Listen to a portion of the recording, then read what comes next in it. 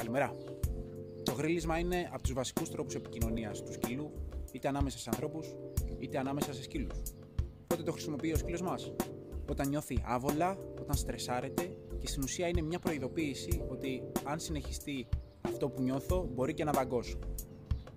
Όταν λοιπόν εμείς μαλώνουμε το σκύλο μας επειδή μας γρίλησε, στην ουσία μας προειδοποίησε για κάποιο λόγο που τον είχε στρεσάρει ή φοβότανε, ή πήγαμε να του πάρουμε κάτι που πάλι τον στρέσαρε, στην ουσία μαλώνουμε την προειδοποίηση. Έτσι ο σκύλος μας την επόμενη φορά μπορεί να μην προειδοποιήσει καν και να πάει κατευθείαν στο δάγκο. Όταν λοιπόν είμαστε σε μια τέτοια κατάσταση, θα πρέπει να καταλάβουμε τι είναι αυτό που αγχώνει και στρεσάρει το σκύλο μας και να το δουλέψουμε με ηρεμία και να αλλάξουμε τελικά όλο αυτό το άγχος σε κάτι ίσως πιο ευχάριστο. Θέλει χρόνο, θέλει υπομονή και σίγουρα θέλει να συμβουλευτείτε έναν επαγγελματία εκπαιδευτή σκύλων, ο οποίος είναι ειδικός στη συμπεριφορά.